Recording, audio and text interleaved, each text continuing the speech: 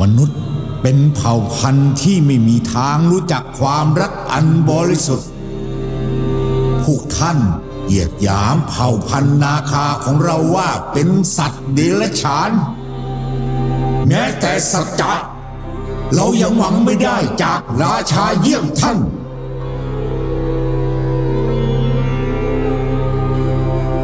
เราขอสาบแช่งให้ท่าน อยู่เฝ้าดินแดนนี้ ด้วยทุกเวทนาในกายหยาบเยี่ยมพวกข้า จนชั่วพันปี